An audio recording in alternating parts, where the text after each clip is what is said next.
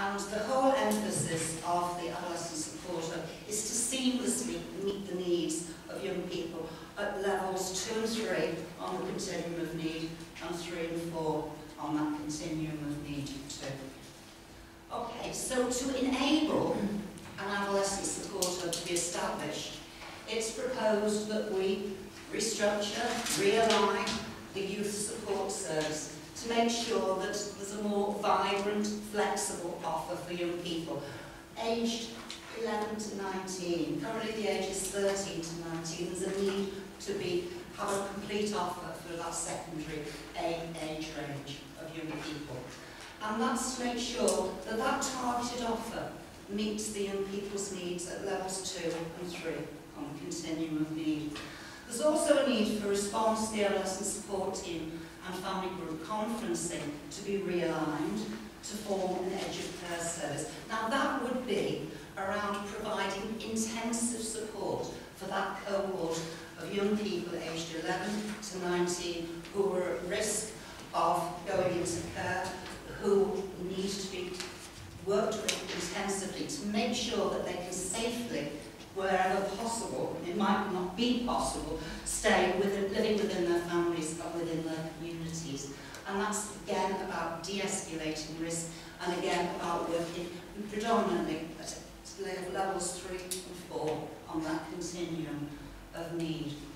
Okay, so the ideas and the proposals for the adolescent supporter are for a range of services to be provided for young people. Obviously, as I said before, edge of care, targeted youth support, but also to provide group work for activities, group work programs. We talked about the Girls Project before, obviously parenting programs too. And all staff to be located, co-located in, in one building and have one office space. And there to be regular drop-in sessions for young people to seek advice and guidance where they needed it with youth workers and obviously other partners, for example, connections, group, uh, and health. There is a diagram here which I'm conscious isn't very clear. I'm using copies of what would be um, a proposal at the moment, thank you, in terms of the adolescent supporter. But I'm not going to talk too much about that because I think I've already mentioned about the levels of need and having services um, designed appropriately to meet the needs of young people at those levels. Okay, so what we're proposing in terms of targeted youth support is that we have three youth outreach teams in three geographical areas, that we have a team of workers um, who have a key worker function. So that's very much about youth workers being case holders, taking um, the professional role um, and working with children and their families in that respect. Be a clear participation and engagement offer and that's very much um, about making sure that we listen to the voice of young people, that we continue to run those annual conferences, those annual parliaments, and that we make sure that young people, people's views are embedded in any decision making, particularly in services that affect young people themselves. Uh, youth arts, the Girls Project, which you've spoken about before, and I'm sure people know that that's aimed at the most vulnerable young women um, and those at risk of exploitation. um, the life skills offer, and that's very much about enabling young people's life skills. Health services in schools, which we've talked about already, and the civic award scheme. So that's the proposed modernised offer, and very much a clearer offer with workers very clear about what the role is and what the expectations are within that function. We're proposing that we withdraw local authority support from the Duke of Edinburgh Award and that that function is passed to the North West Regional Office. A number of schools in Wirral are already going to the North West Regional Office, so that's what we're proposing that we do in the future. And obviously some of the benefits of um, this proposal, improved outcomes for young people, earlier identification of needs, having a very clear targeted youth offer is about preventing young people falling through gaps, um, ensuring greater consistency, um, and like I mentioned before, that people's roles are clear not only to staff themselves but also to partners and most importantly to young people. Um, and last but not least, it's about recording and making sure that we evidence outcomes and we make demonstrate an impact on young people. So in terms of the edge of care proposals, what the offer is being proposed for is an intensive family support. Um, three geographical teams providing that. Um, a caseload of intensive support with those workers and that would include support for any 16, 17 year old young people who are homeless. Um, there would be a duty rota for that team, so there would be someone available from 8am to 10pm on Monday to Friday and 9pm to 4pm on both Saturday and Sunday to deal with those crisis issues that obviously this cohort um, of adolescents often, often have. Um, there would be a counselling offer, and that counselling offer would be to work with young people in the edge of care service, but it also would be for those who would require a therapeutic intervention at levels two and levels three on the continuum of needs. So the counselling would work right across the adolescent support. Um, substance misuse, um, what we're saying about substance misuse is that we're actually commissioned by public health um, to deliver certain outcomes, and that needs to remain. However, the substance misuse team need to provide support to the whole of the adolescent support team, but particularly for a number of young people who will be coming into the edge of care service. Family group conferencing, obviously that needs to remain working with all age range, but with a strong focus on edge of care. And also using family group conference coordinators to provide some training for um, the workers in the adolescent support and the wider children's department to enable workers to deliver family, family meetings which build on the good principle practice of uh, family group conferencing. Um, and in terms of the edge of care service proposals, um, some of the benefits are ensuring that it's the right service at the right time. Again, reducing the need for a statutory intervention through earlier managing of risk, young people engaging with fewer professionals as they go on their journey, um, geographical teams, um, and respite provision. An integral part of this offer, the edge of care offer, will be making sure that we've got respite provision for young people. What we need is a mixed economy of respite. And what we're doing at the moment is we're working with voluntary organisations, we're actually going to be talking to providers around having crash pads, a whole variety of different, and foster carers maybe, um, of, of, of respite. Because sometimes just by taking a young person away from a situation um, and they can stay somewhere for a week, occasional weekend actually de-escalates that risk and the whole thing doesn't, doesn't blow up, as I'm sure you appreciate. Um, so, and again, it's about reducing the number of young people open to statutory services and looked after.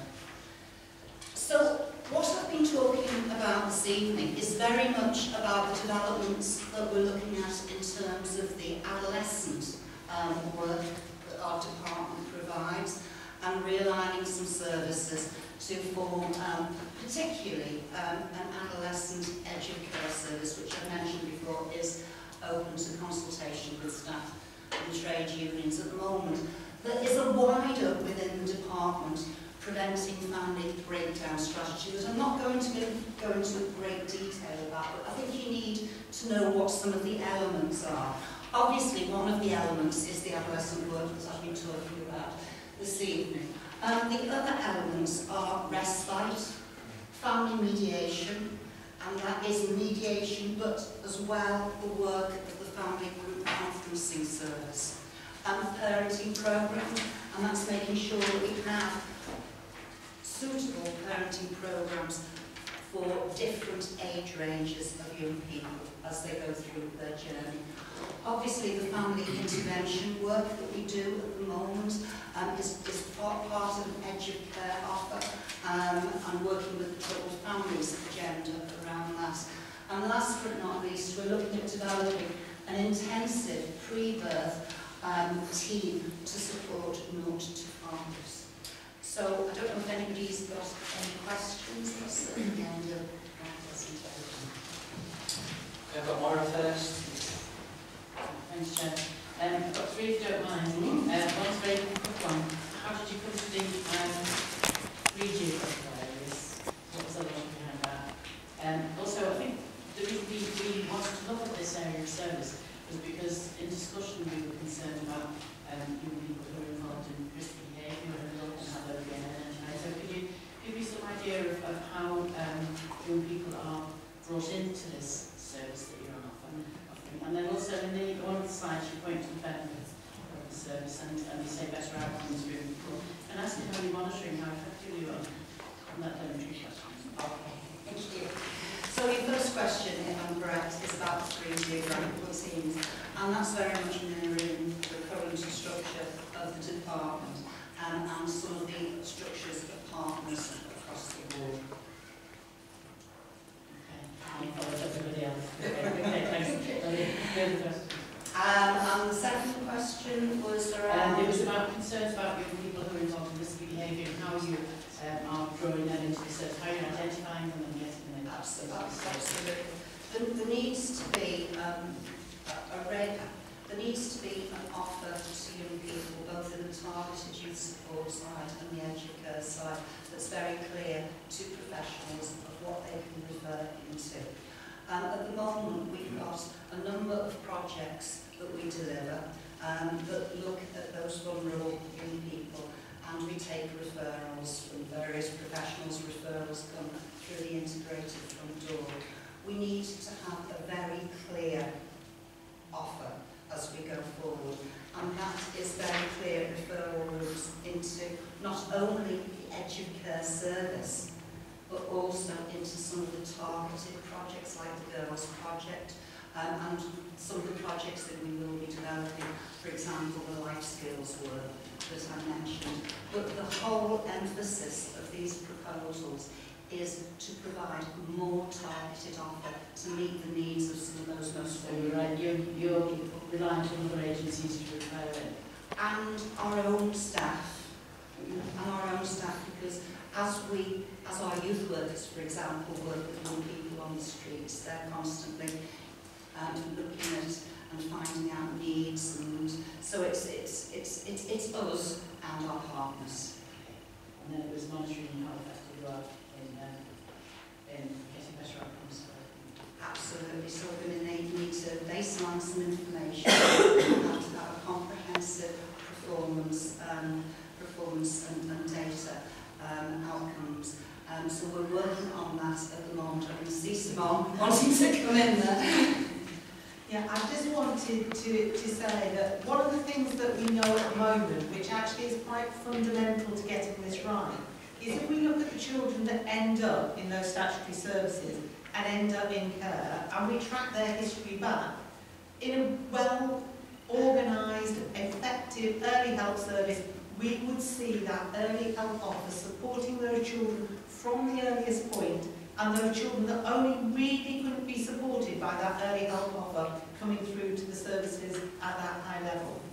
When we've looked at individual cases, don't see that. What we see is children have missed out completely on the early offer and have left into the statutory services. So we need to rebalance what we've got out there. We know we've got some good services at the moment, but we know they aren't hitting the children we need them to. We know they aren't targeting them the right way.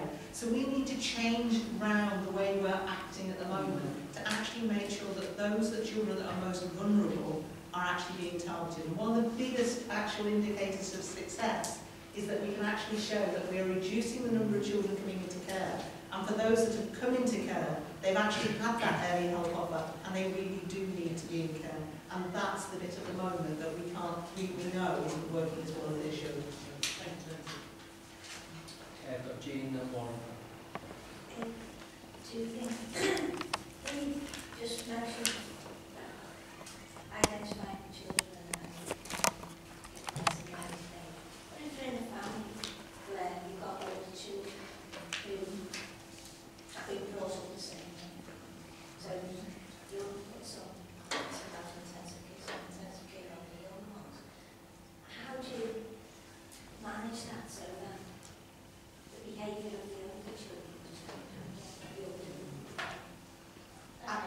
Absolutely.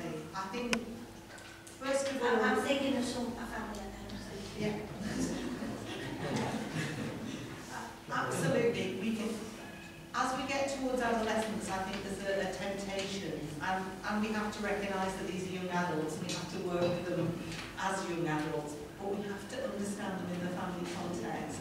The minute we begin to work with them outside of their family context, we remove them, and we can see where that's going to end up. So actually, I know Ruth is very keen that the services that she's putting together actually have a real family focus. If you notice, there was parenting courses, there was other elements of those services that at the moment our adolescent support doesn't offer in that way. So, so we need to wrap around families. At the moment, again, one of the things that happens in our service is that you will go into a service, it's a good service, they may be really supportive, but they do certain elements of the service. If you need something else, they close you and they pass you on. And that service will do something, and they will close you, and then they will pass you on. And in the end, they'll all close you and pass you to social care. Now, actually, what we want to do is start to build the services that wrap around families, that instead of passing on to the next one, actually fetch more services in to support children. Because actually, we know that model works, because the more problems you've got, the more support you should have. And that's not always the way it's been working. So you can see why we need quite a major service redesign and rethink to get that process wrong. And can I also ask, so what the original question is, you use the word intensive support. Can you define that, what that will mean?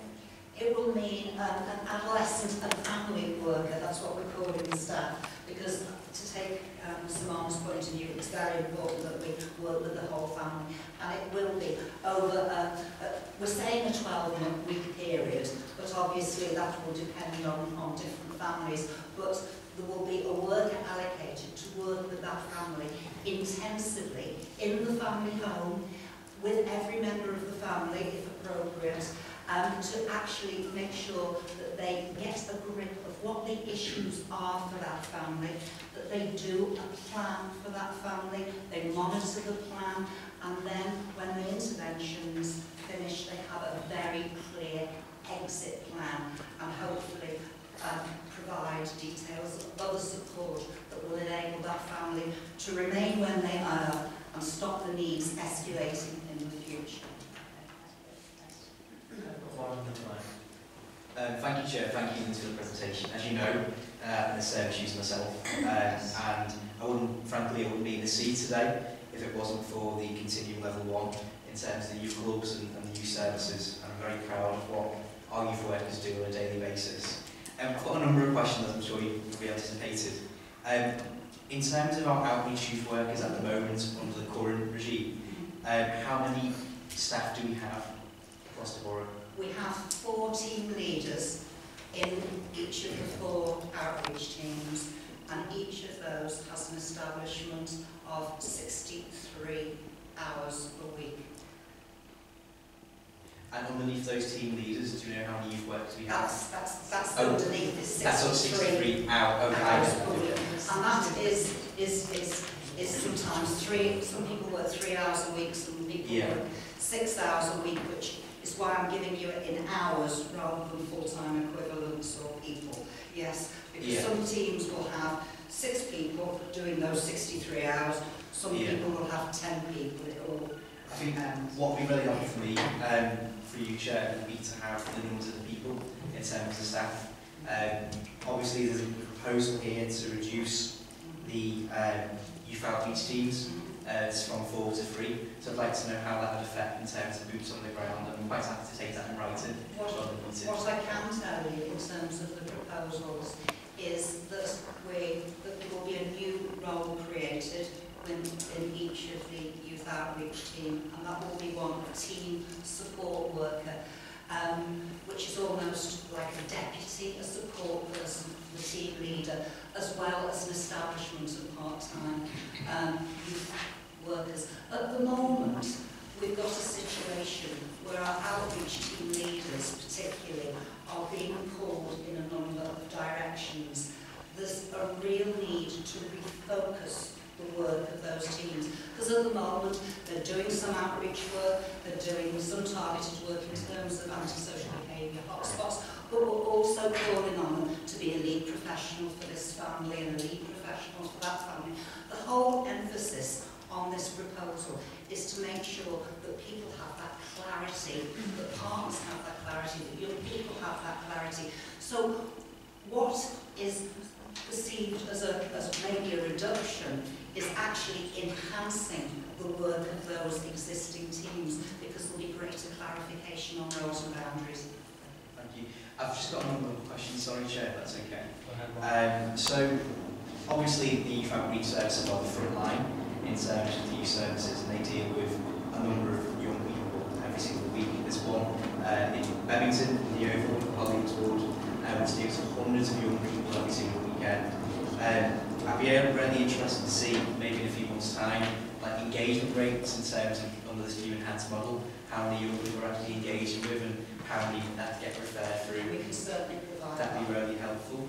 Um, one of my other concerns has to be the restructure in terms of the um, the lowering of the number of sorry the age from 11 to 19 years. Is it's quite it's been quite a consistent gap in new provision under the age of 11. Uh, we have got the amazing uh, Wirral Play Council, uh, which is during the summer holidays, but um, the Wirral South Constituency Committee recently made it its priority uh, to tackle gaps in provision under the age of 11. I'd be interested to see ha what the council has to provide in terms of um, youth provision for that age group.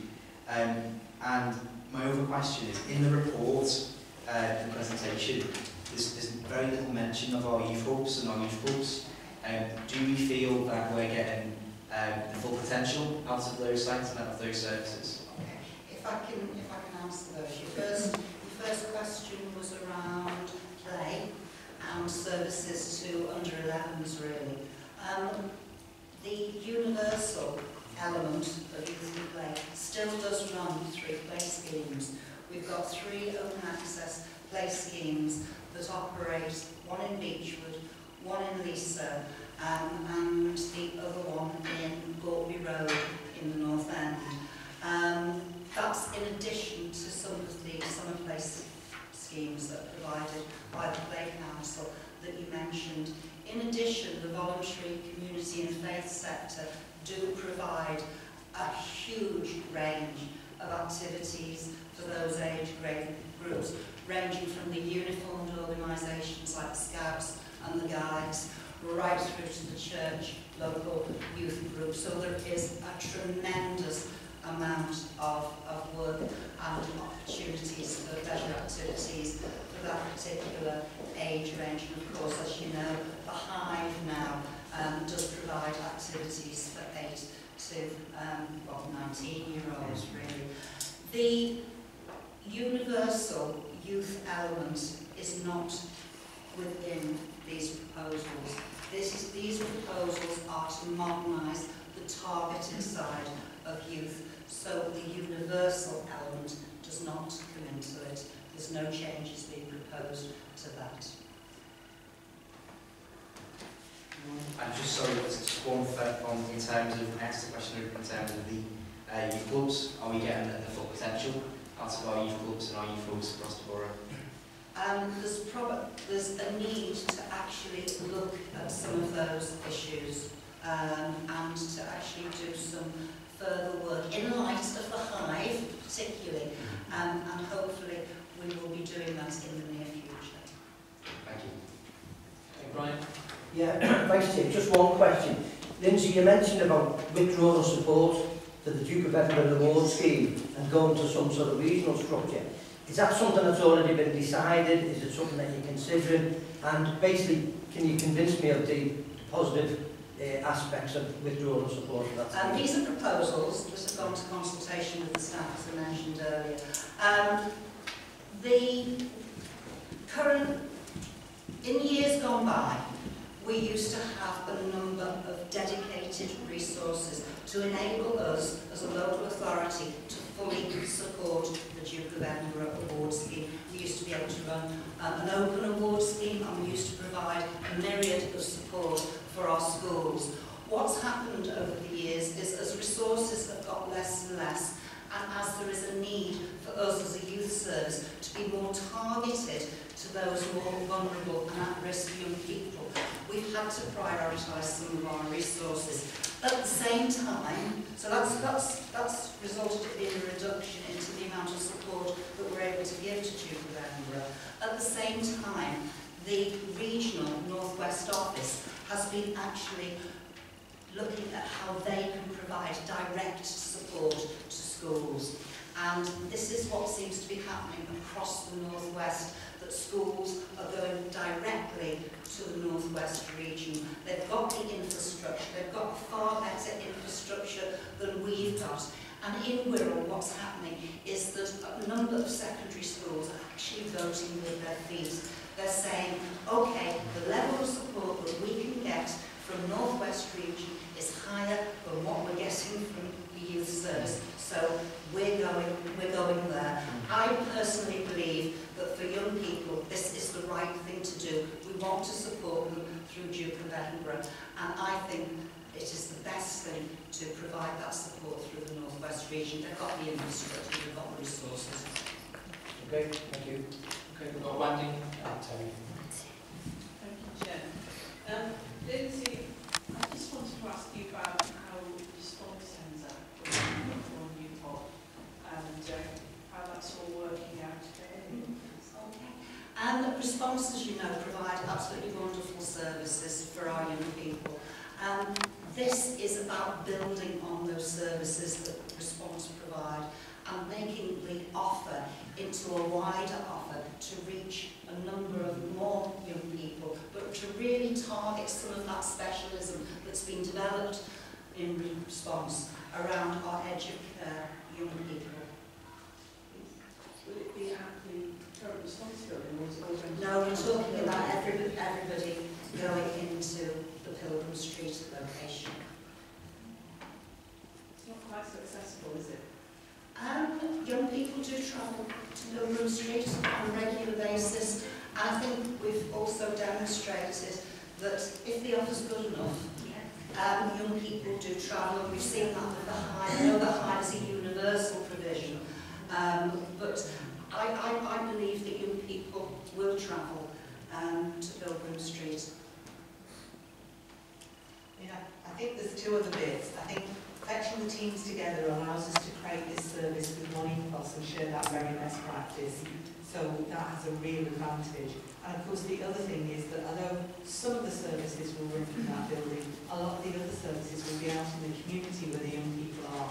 So actually, um, you know, we can look at what one issue having it there in that building has or whether that has any detriment.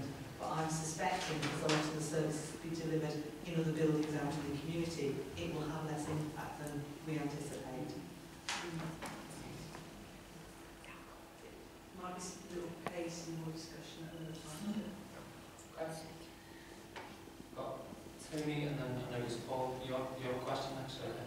And then I'll, and I'll, I'll make that all, all last question because we have a lot on time and contribute. Mine, mine relates specifically to the, uh, the duty roster or duty rota in terms of right time, right place, right service. What provision would there be, given that you mentioned some hours, uh, what provision would there be outside of those hours, weekends and other service times? Outside of those hours currently is the emergency duty team, EDT, and then that would fall again to EDT in terms of outside of, of, of these hours. Okay, thank you. Thanks, Chair. Yeah, just in relation to consultation, you say this is uh, just proposals at the moment and you're going to consult with staff, but how about consulting with service users, young people and families as well? This is an internal restructure of services, or realignment, I should say, of services within the children's department. So there is no need particularly to go for a full public consultation in the same way that there would be if we were making efficiency savings, um, for example. That said, um, the, what, we're, what we're doing at the moment is we have got the consultation open to staff at the moment. It's been open since the 4th of December. Um, and once that consultation process is over and we've got some finalised structures, then we will be going to partners. Partners are aware of what we're doing at the moment, but we haven't done any huge consultation with partners because we wanted to talk to internally our staff first. Sure, I'm not sure how, how the rest of the committee feel, but I do think that it's quite integral, really. I hope you speak to our service users. You know, you oh, mentioned there are finalised structures. It's not much of a consultation if you have a final structure that you go to consultation on. I think it, in this council in the past, we really prided ourselves in terms of speaking to young people and asking their opinions, and it's something I think we've done well previously, so if I hope it's something if I can we can come do well in there, I think, I think if we're talking about consultation with young people, we have to get it right, and the consultation has to be at the right time. If you consult with young people too early, you can either raise their expectations too high or lower their expectations. So there's been a, we have involved young people in terms of looking at some of the principles of this and some of the principles of what's being proposed is very much about what young people want. The devil of the detail we haven't given to young people yet because as I say it's a fine line at one point you talk to young people.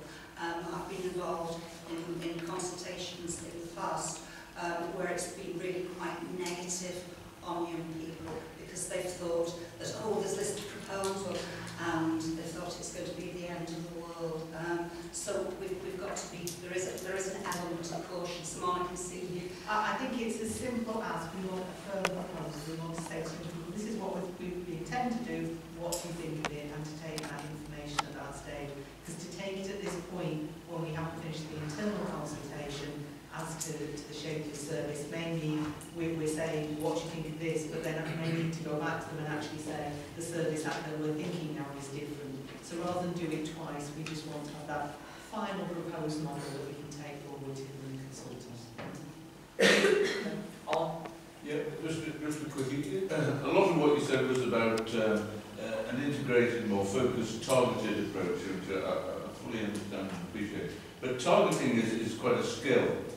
How do we make sure that we do target the right people? Have we got the skills? Because we make mistakes, we won't get always get the right people, but we need to be as good as as we possibly can. So how do we do that? I think that's about making sure that we're working very closely with our partners, making sure that the offer's very clear and our partners know what the offer is. I think it's about using the intelligence that we've got uh, within the service um, and within the youth service and using some anecdotal information going to the antisocial behaviour governance group, for example, and making sure that we're aware of what the priorities in Wirral are in terms of those needs and issues that are affecting young people, and then making sure that our services are devi- designed and delivered accordingly. We not do that as well as we might at the moment.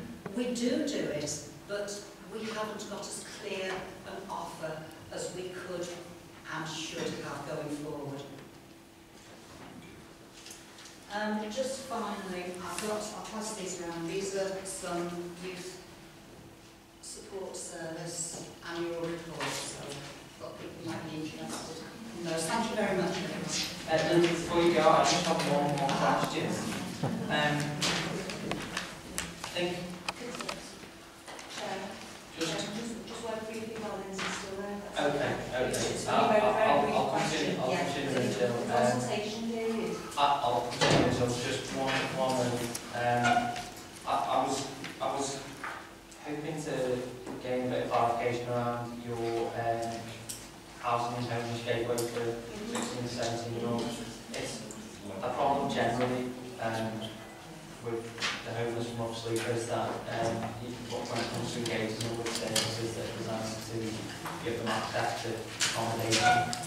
Um, and it, do, do we encounter the same obstacles when it comes to the service for young people, 16, 17 year olds, are we successful in engaging with them and providing accommodation? We, Um, yeah. And, you know, how, how this, how this new structure remove some of the obstacles? I think we work to a protocol, a 16, 17 year old homeless protocol that we've developed with partners over a number of years. We're actually currently reviewing that protocol to make sure that it is fit for purpose as we go forward. We work very closely with the housing department and we work very, very closely across our departments. That's with social workers, with the workers currently who are, responsible, sort of the housing workers, if you like.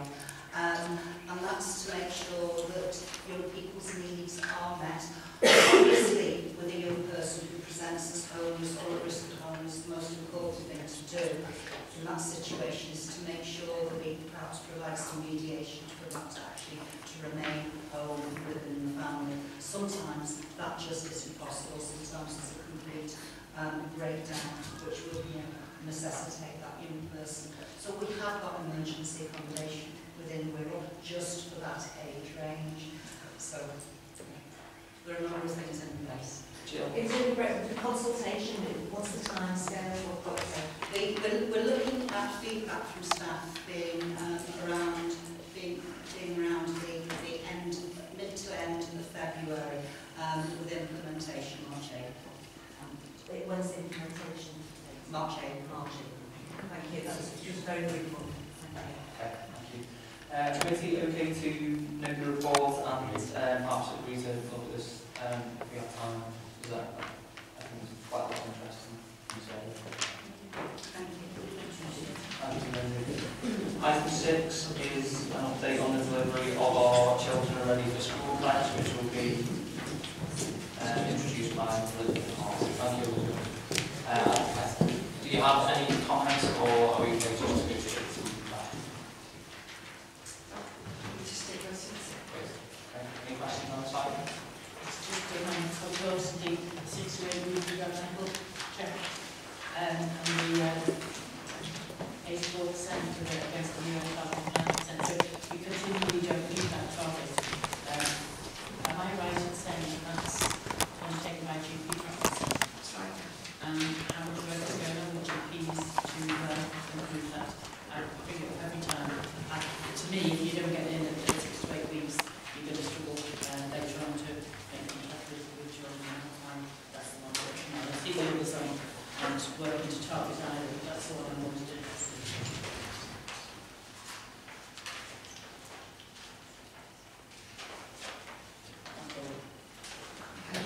Can I get a follow-up on that for me specifically? Um, Sorry? Can I provide a follow-up? Yes, Um, yes. Any questions? Alan? Yeah, the- This report, it talks about the, um, uh, is it the early childhood reference group, which meets once a quarter? I mean, it's, a- it's a big area to look at. Is meeting once a quarter sufficiently adequate for them to, to monitor and, and, and, and really encourage better performance? The early childhood reference group is the multi-age group that comes together to oversee the pledge work.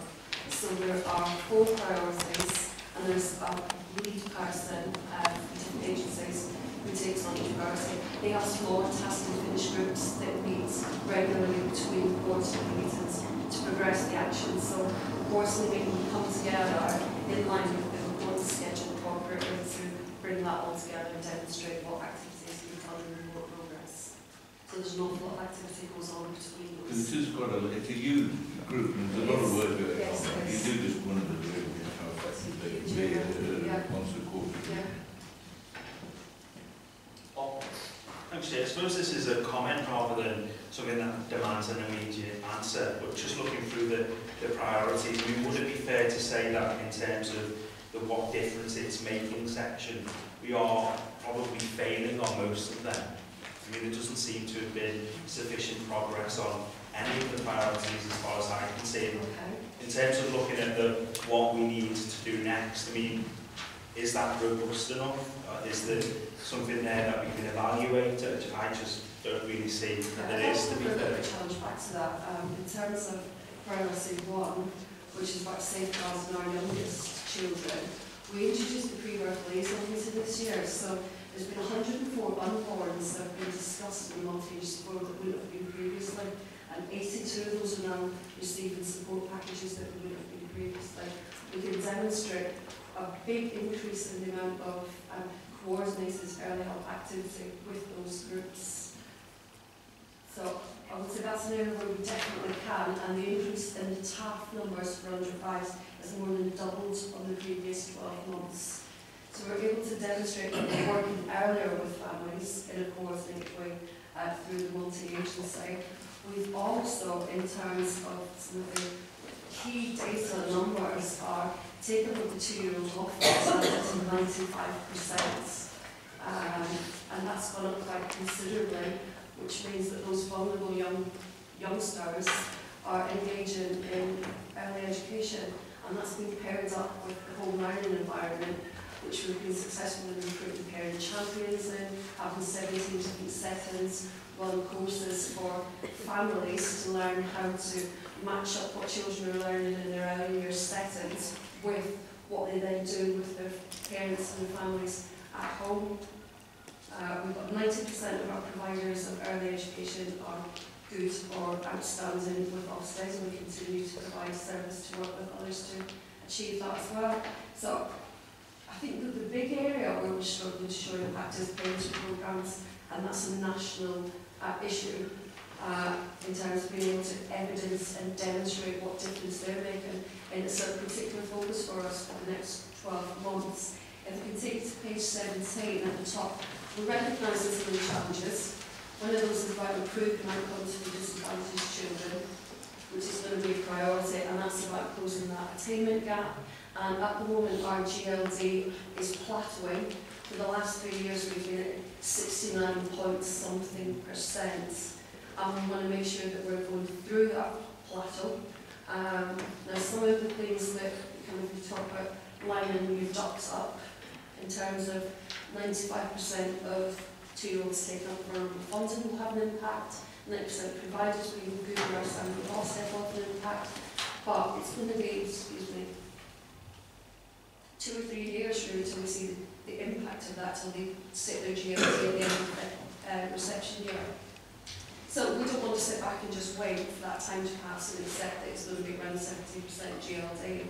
We've got some specific pieces of work that we're doing with other local authorities and for with agencies like Action for Children, which will start next month, to look at how we do something based on learning from other areas, some successes in Telford and Hull, for example, about networks between childminders, home, um, nursery settings and primary schools, where we can implement a model that's been successful there to start pushing that GLDs more up. I do recognise there are some areas we've had difficulty with, like the parenting programmes evidence outcomes, but we are able to demonstrate some, I think, quite significant progress in a number of areas.